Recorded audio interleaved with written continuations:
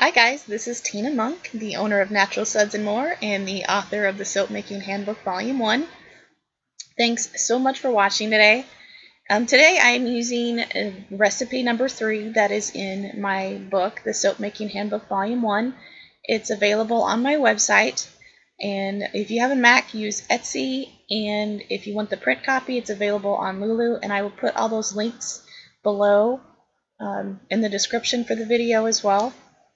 And for this, um, this is a you know, vegan palm free, and I've done this completely vegan, so you'll be able to do that. And I really wanted to show you that you could do this without palm stearic acid, although you can um, use it, you can add it about 5% of your recipe if you want. But how I do this is I melt all the hard all the hard oils, all the liquid oils, everything. It goes into the crock pot. Okay, so the hard oils, um, you know, normally when I do cold process soap, I'm just melting the hard oils first, and then I um, am doing this really, really low temperature, and then I'm adding the liquid oils in. And for this, all of the oils go into the crock pot. It's super hot. I wait till they get 200 degrees, and then I take the crock pot out of the base and sit it on the counter. And then after they have reached the 200 degrees and it's sitting on the counter, I'm mixing up my lye and before I add the lye to the water, I've added 3% sugar. And this time around, I'm adding the sodium lactate after the cook. And because I'm using the vegan yogurt, and I found some uh, so delicious coconut milk yogurt that I'm trying for this one too.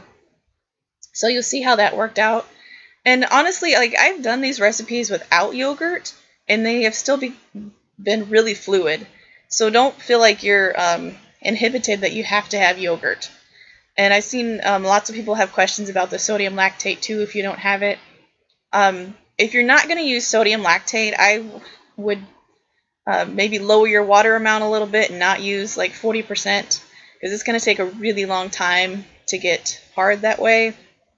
But and also if you drop your water amount um, like 33%, it's not going to be as fluid, but you'll still get some really smooth bars. So it's just, it's up to you and your preferences. If you use 40% water, I recommend using the sodium lactate to help it get harder faster. And so, I mean, there's, and it, the sodium lactate does help with fluidity also, but it's, you know, totally up to you what you want to do. But like I said, these work really well um, without yogurt. So it's, it's up to you. You don't have to use it for, for these. Um, just it just helps to adding the extra water at the end. So in this particular recipe, I am cooking with 30 percent water, and then I'm adding the rest of my water into my colorants, which this time um, I'm using the non-nano particle zinc oxide for um, the biggest part of the soap, and I'm also using Brazilian purple clay and activated charcoal. Now, and I'm adding the zinc oxide to the main part of the soap because I use organic sugar, which darkens the soap up quite a bit. So if you're not using organic sugar, your soaps are going to be lighter and you, you know, so it's just up to you. This is just how I'm doing it so the soaps don't look so dark and the designs look a little bit better. But, you know, I'm, I'm just um, stick blending to trace. And like I said, if you use uh, stearic acid in your recipe. This will go a little bit quicker, you know, even faster. So it's just it's up to you and your preferences. And you know, I'm just showing you how I do it and kind of um, just showing you that there's different ways that you can do this. And your recipes will all cook differently. And however you want to do this, how just do it how whatever works for you. And you know, because it took me a long time of trial and error and different methods and coming up with things and tweaking things before I found what I really liked. So um, I'm showing these videos to you because I found what I really like to do, and I hope you do too. Um, and also, there are some really great uh, videos out there uh, with Valerie from Shalebrook Soaps. She's amazing, and her videos on the countertop fluid hot process or the high temperature hot process are amazing. So check her out too if you haven't seen any of her videos. Um, and after I get to um, the thick trace after stick blending, I'm just letting the soap sit and letting it letting it do its thing. And this soap cooked um, a little bit differently than the, the last recipe that I did, but still worked really really well. And so you're just letting it sit and kind of you're going to come back in about a minute or two and then stir. And when you do that, um, it's actually it's it's helping incorporate the soap in the heat, so it helps it cook faster. And I don't like using the stick blender because, especially when it's this thick, because you can burn out your stick blender. So I don't use uh, the stick blender till it turns to the applesauce stage and it's really loose. And then you're not going to have to worry about your stick blender uh, burning out or working too hard to do that. So but it's really super thick right now and then it changes really fast into the applesauce stage. So, but yeah, just make sure that you don't walk away because every recipe is going to cook differently. Some may try to boil, you know, up at a volcano like crazy on you and so just you just have to watch it. So don't walk away. um, but yeah, like this uh, works really well and it's super fast. And I left this in real time again, like the last one, so that you could see, you know, the whole process. And, um, you know, normally I like to keep my videos around 15 minutes. And this one's a little bit longer, but I wanted to be able to show you the whole thing and show you how well this works.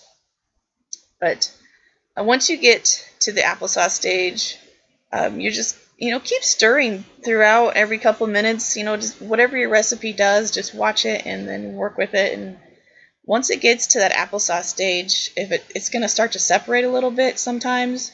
So that's why I'm stick blending. But the stick blending brings it together and adds a little bit more heat.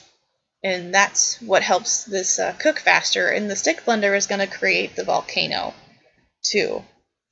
So if you don't you don't have to stick blend at all like this unless it's separating really bad and you need to. So you're just gonna have to play around with it and see um, you know what yours does and just watch it. But this worked super well. I'm like really excited about this process. So, but uh, I'm just standing there and I'm watching this and I can I can see that there's uh, some gel starting to happen. So I'm coming back and I'm stirring and the stirring just helps incorporate the heat and just keeps everything cooking fluid.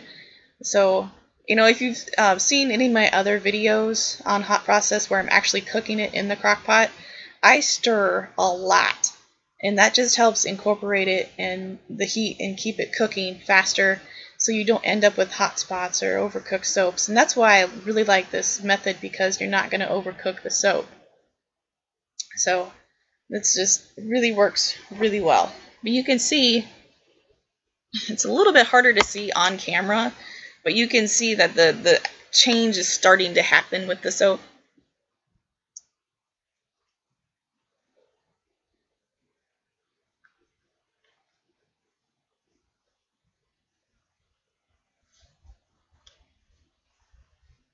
But this one took a little bit longer to get to that applesauce stage, so I'm putting the lid back on and letting it sit for another minute. But yeah, I mean, you can use a whisk, you can use uh, warmed up utensils, you can even warm up your mold if you want to, um, just to keep this warm. Like everything needs to be warm to help it remain retain the fluidity.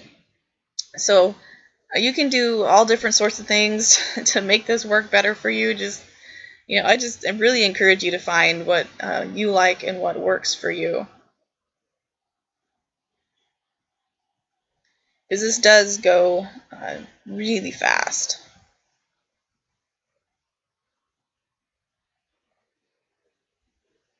And the, the applesauce stage happens fairly quickly. You can see it on, on top here.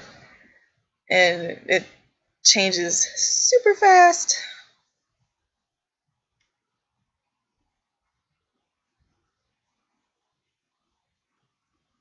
Like you know, and like I said, you don't have to stick blend at all if you don't want to.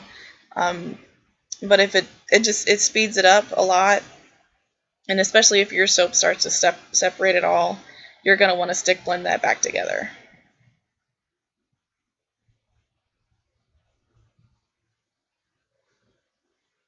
You know that me, it's you know time is money. So if you can do this faster and you know and cut down some of your making time and everything, and that's one of the reasons why, you know, years ago I just didn't like hot process soap, and I said I'm going to come back to that because I'm going to do something different. And so, yeah, just don't give up on it because I've seen a lot of comments too, and people are just um, frustrated with hot process. And believe me, there was times where I was too, until I found what worked for me. So I hope you know that you like this method and that it works for you too. And I've been seeing some really great comments and some really great soaps, and I uh, just think it's so awesome that you guys are having a great time doing this method. Now you can see that I just stick blended till it started to volcano, and then all you got to do is just stir that back down, and uh, that's what actually just finishes the cook there, and it's super fast. And I also get a lot of comments, um, you know, about the lye being neutralized and whatnot. This is so hot that you don't really need to worry about it. It's going to finish the saponification on its own either way. So even if it's not completely neutral by the time you put it in the mold, it will be. So it's just, um, if you want to let it sit there and longer and you want to test the pH, you know, that's totally up to you. But I, um, I just want to make sure that you're aware that you don't have to be that worried about the, the lye being neutralized because it will finish on its own. This is just so hot and so fast. And you, um, you know, you eliminate a lot of the cold process problems. You know, if you're dealing with soda ash or partial gel or just seizing or you know different things, ricing. Like if you want to use um, a fragrance oil at the end that you know rices, you can add it to this. And don't worry about uh, you know the the high temperature with essential oils either because it um, those when you say like the flash points when you're you know it's like looking at them online and you're like oh the flash point is like 170 degrees or something those are basically for shipping and they hold up really really well in hot soaps you know because i've done a lot of cold processed soaps with essential oils and um, they hold up really well and when it goes through the gel phase in the mold so it's basically just you know, eliminating some of the problems that you don't want to deal with in cold process soap. And then, uh, depending on the water amount, the cure time is faster with this too. So, you know, I personally don't sell my soaps until they're four weeks old. And your soaps are not fully cured until it's lost all of the water weight. So if you're using hot process soaps um, with, you know, a water discount like 33%, instead of the 40%, your soaps are going to be harder a lot faster, especially if you use sodium lactate. But uh, just be aware that they will dissolve faster in the shower if they still contain water. So if you're um, using them at like one week and they don't last long in the shower, it's because they haven't lost all of their water weight.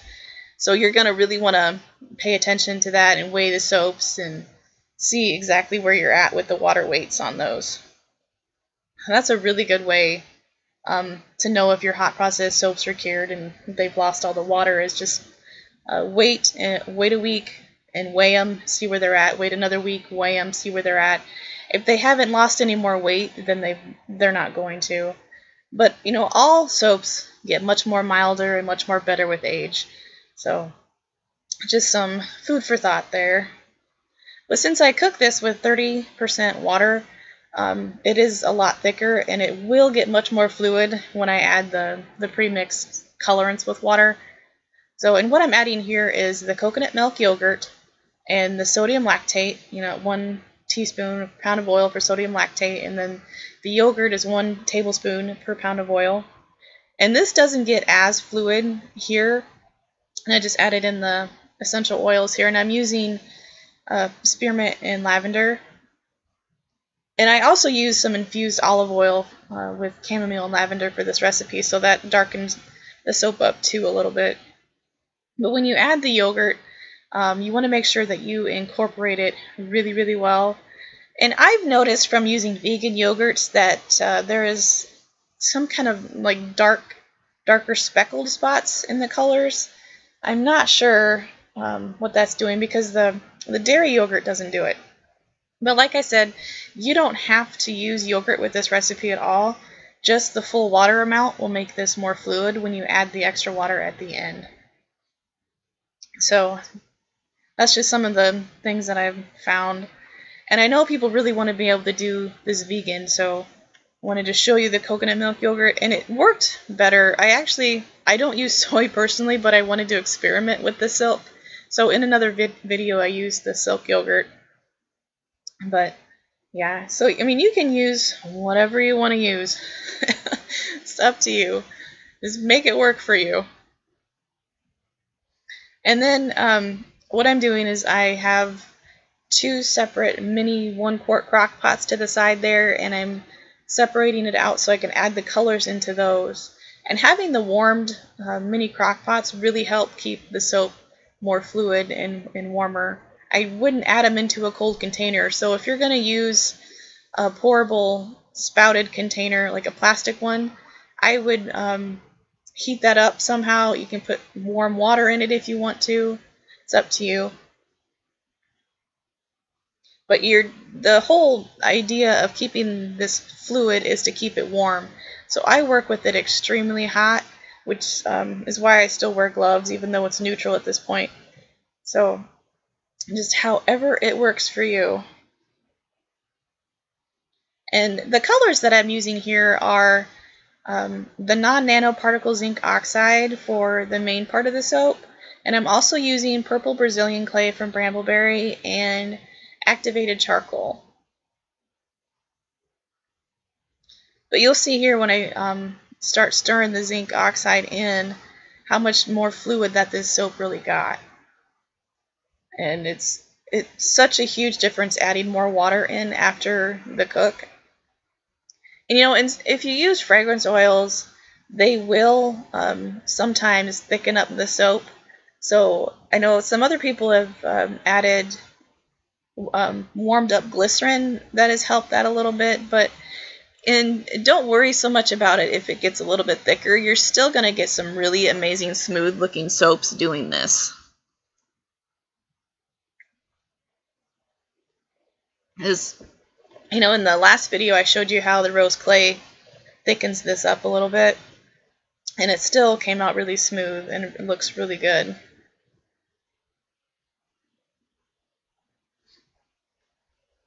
But yeah, just make sure that you stir really well to incorporate all of your uh, colors and additives and whatever else you want to put in there.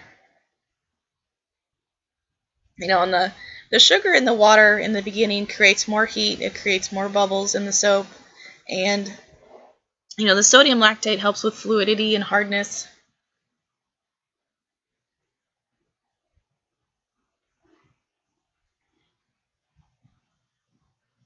And then what I'm doing next is just uh, mixing the other two up to the side there.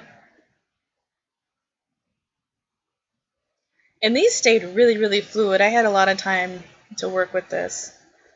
So that was pretty awesome.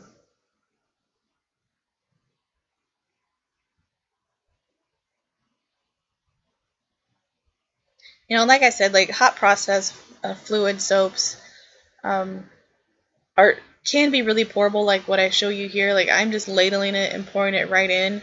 And what I have, uh, Tyler made me a little stand so I could put the soap uh, mold at an angle so I can do the side angle pour.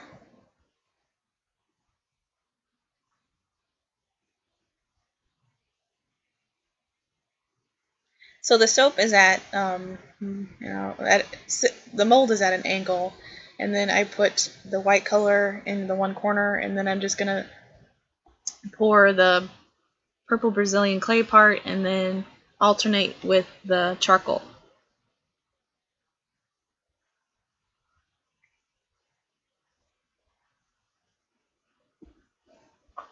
Now, even though this is still really fluid and I could pour the black, I was spooning it in uh, just to, because I only have two ladles, pretty much. so, but yeah, like you can see how fluid it is in the container.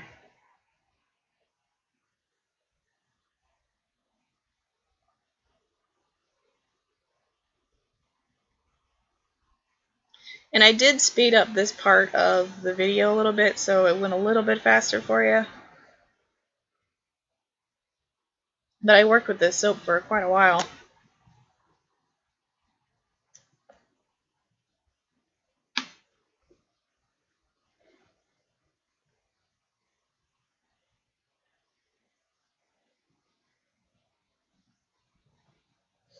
But yeah, I'm just alternating um, between the, the purple clay and the charcoal.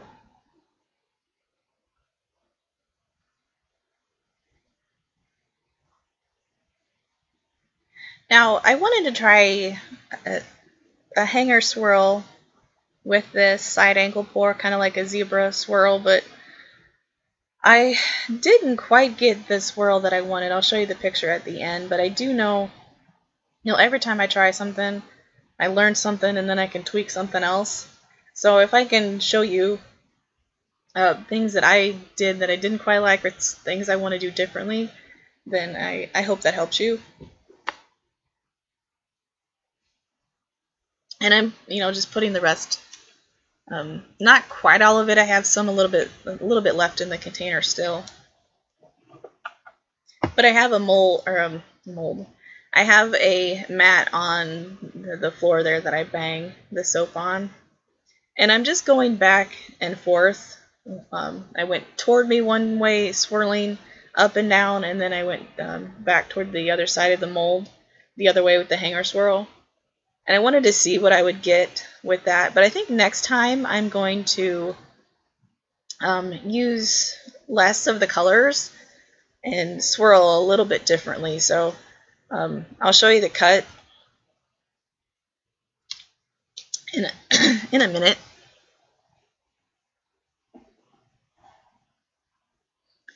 But I, I really like, um, you know, even the extra fluidity because you have more workability with it, especially when if you want to do some top swirls. And they're still a little bit on the, the thicker side, a little chunkier side, but, you know, like I've said before, I like that I like it to set it apart from the cold process soaps. But you know, just depending on your recipe, your additives, your colorants, and everything are really going to affect how fluid your soap is. So just uh, just know that everything is, can affect it differently. And if you even if the soap thickens up, um, like the purple clay finally thickened up a little bit here, so I couldn't pour it. But this was um, I don't know, I think it was like 15 minutes in because there was a, I cut out a break there for a little bit while I was working with the soap and uh, so, but yeah, this was fluid for a really long time.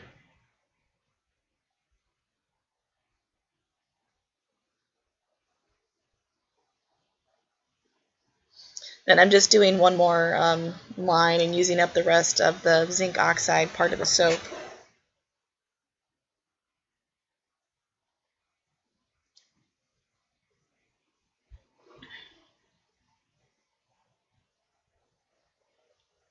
And then, um, yeah, you know, periodically bang down your soap too because you want to make sure that there's no air holes, especially when you're working with hot process. Cold process too, but yeah, just make sure that uh, it's all even and because you don't want to like cut it and there's big air holes in there. Then I'm just using a bamboo skewer to do some swirling on top.